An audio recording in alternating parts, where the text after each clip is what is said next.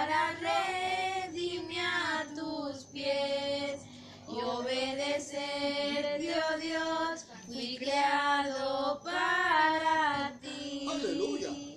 Tuyo para amarte. Vida es para siempre.